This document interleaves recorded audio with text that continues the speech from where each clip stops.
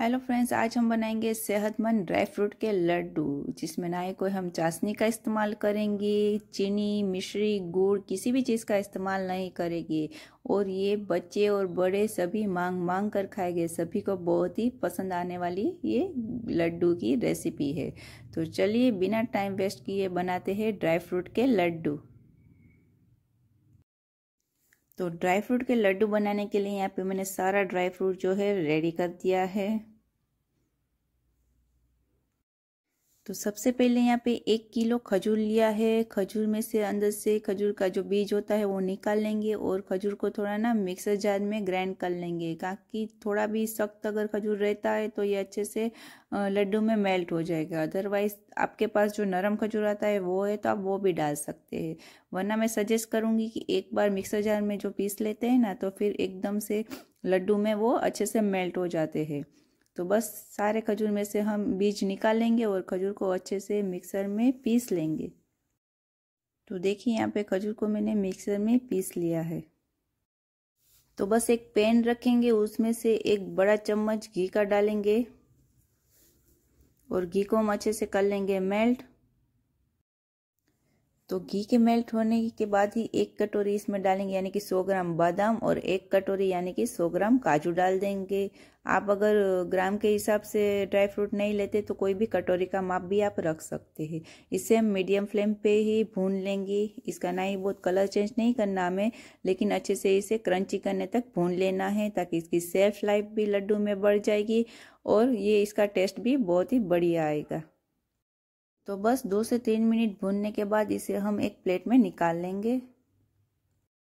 फिर वही same pan में हम डाल देंगे 100 ग्राम अखरोट और 50 ग्राम डालेंगे पिस्ता और इसमें डाल देंगे 100 ग्राम किशमिश। इसे भी हम अच्छे से भून लेंगे दो से तीन मिनट के लिए। इसे भी हम हल्के हल्का मीडियम फ्लेम पे देखिए रोस्ट कर लेंगे। और ड्राई फ्रूट की तो आपको क्या बताएँ, क्या इसकी खासियत होती है? सभी को पता ही होता है, मिनरल, विटामिन, कैल्शियम, सभी चीज़ इसमें भरपूर होती है, इसीलिए ये सेहतमंद लड्डू कहलाते हैं। अगर इसके फ़ायदे बताने बैठूँगी तो वीडियो बहुत ही लंबा हो जाएगा। तो बस देखिए, ये भी हल्के से रोस्ट हो चुके हैं, इसे भी हम निकालेंगे, फिर सेम पेन में हम वापस एक चम्मच डालेंगे घी, फिर इसमें डाल देंगे पचास ग्राम मखाना मखाना को भी हम अच्छे से भून लेंगे जब तक ये क्रंची नहीं हो जाते। देखिए, मखाना के भी बहुत सारे फ़ायदे होते हैं। अगर फ़ायदे आपको देखने हैं तो मखाना अगर पहली बार सुन रहे हैं तो आप इसके फ़ायदे गूगल पे सर्च करके भी देख सकते हैं। मखाना बहुत ही हेल्दी होते हैं। इसकी कई तरह की सब्ज़ियाँ भी बनती है। बहुत सारी रेसिपी में मखाना यूज़ होते हैं। तो ये हेल्थ के लिए भी अच्छे होते हैं। तो बस ये भी रोस्ट हो चुके थे तो इसे भी हमने निकाल लिया है। फिर सेम पेन में हम वापस से एक चम्मच डालेंगे घी। और इसमें डाल देंगे हम 50 ग्राम मगज। तो बस इसे भी हम मीडियम फ्लेम पे ही दो से तीन मिनट के लिए रोस्ट कर लेंगे, भून लेंगे।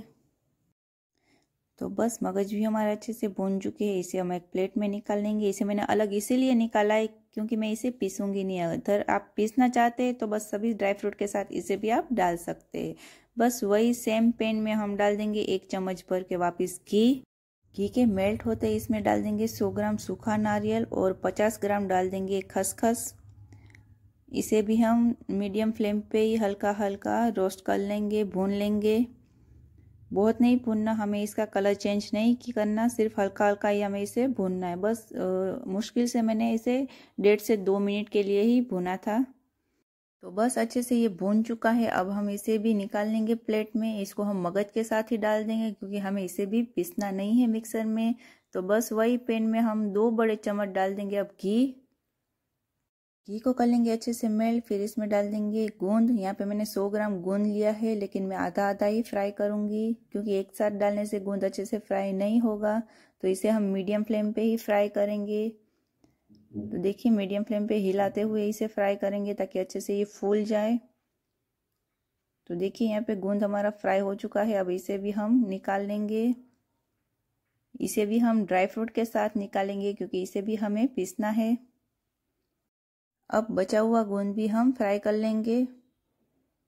मीडियम फ्लेम पे हिलाते हुए इसे भी हम फ्राई कर लेंगे। तो देखिए, ये गूंद भी अच्छे से फ्राई हो चुका है। इसे भी हम एक प्लेट में निकाल लेंगे। फिर वही सेम पैन में हम वापस से डाल देंगे एक चम्मच घी और घी को कर लेंगे मेल्ट फिर इसमें डाल देंगे हमने जो खजूर पीस के रखा था वो डाल देंगे और खजूर को हम मीडियम से लो फ्लेम पे भून लेंगे।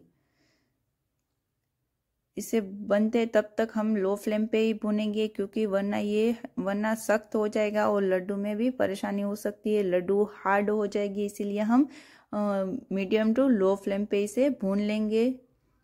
बस इसे बहुत भुनना नहीं है, सिर्फ़ दो से तीन मिनट के लिए ही हमें भुनना है। बस दो से तीन मिनट भुनने के बाद देखिए खजूर हमारा अच्छे से मेल्ट हो चुका है तो इसे भी एक प्लेट में निकाल लेंगे। चलिए अब चलते हैं आगे की प्रोसेस की ओर। तो मैंने यहाँ पे एक मिक्सर ग्राइंडर ले लिया है। इसमें मैंने सारे ड्राई फ्रूट जो हमें पीसने हैं, वो डाल दिए हैं। थोड़ा थोड़ा डाल के हम इसे दरदरा पीस लेंगे। इसे हम ज़्यादा नहीं पीसना, सिर्फ़ दरदरा ही पीसना है। तो यहाँ पे ड्राई फ्रूट को दरदरा पीस लिया, अगर कुछ मोटा मोटा रह गया तो इसको आप दो से तीन टुकड़े करके छोटा टुकड़े में काट सकते हैं। अदरवाइज़ ये क्रंचीनेस लगेगा। अगर बड़ा बड़ा इसमें टुकड़े रहेंगे तो ये बहुत ही अच्छा लगेगा टेस्ट में। अब इसमें मगज और सूखा टुकड़ा जो हमने पीसा नहीं है, वो भी डाल देंगे। अब सारी चीज़ को हम इसमें मिला लेना है। इसके बाद अब इसमें डाल देंगे हम खजूर। जो भून के हमने रखा हुआ था। तो बस अब हम सारी चीज़ों को मिक्स करेंगे अच्छे से। अच्छे से हम सभी चीज़ों को मिला लेना है पहले। आराम आराम से अच्छे से हम इसे मिला लेंगे। तो देखिए यहाँ पे अच्छे से सारे ड्राई फ्रूट खजूर वगैरह सब अच्छे से मिक्स हो चुका है। तो बस अब हम इसके बनाएँगे लड्डू। थोड़ा थोड़ा पोर्शन पार्ट लेंगे हम और इसके बनाएँगे लड्डू। देखिए, दिखने में जितना बढ़िया है, सेहत के लिए ये उतना ही बढ़िया होता है। और ये अक्सर सर्दियों में खाए जाने वाले लड्डू है। ये सर्दी सर दर्द कमर दर्द जोड़ों का दर्द, सभी में ये सेहतमंद है लड्डू। तो बस इसी तरह से हम इसके सारे लड्डू बना लेंगे। अगर ये इसकी वज़न में बात करूँ तो ये डेढ़ से दो किलो के ये लड्डू बने हैं। तो देखिए अच्छे से ये लड्डू बनाएँगे हम इसके।